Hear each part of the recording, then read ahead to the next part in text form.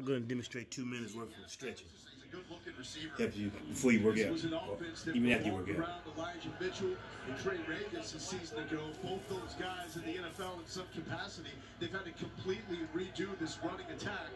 And here's the third running back of the night, Montrell Johnson. He could have the highest upside out of all these guys. And here's Johnson once again.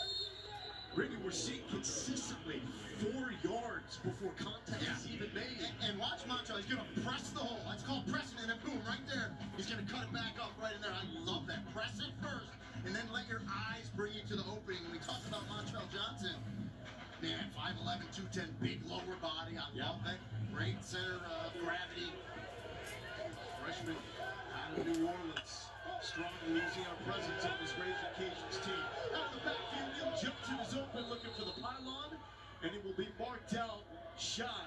uh, about the three-yard line, nine-yard pickup, and the tight ends are impressive too. Yeah, and it's wide open. Just slide him out to the flat. Lewis puts it on. Johnson turns it up. Just can't get in. They love the effort there, but first and goal for Louisiana. Ninth best red zone offense in college football, converting 77% of their red zone drives to touchdowns. Michael Jefferson one-on-one at the bottom of your screen. And it goes to Jefferson. And that's overthrown.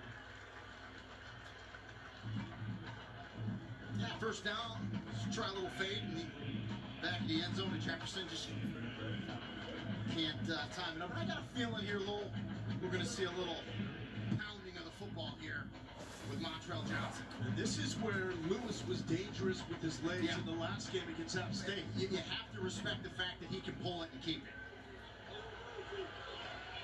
Second to go. Montrell Johnson taking the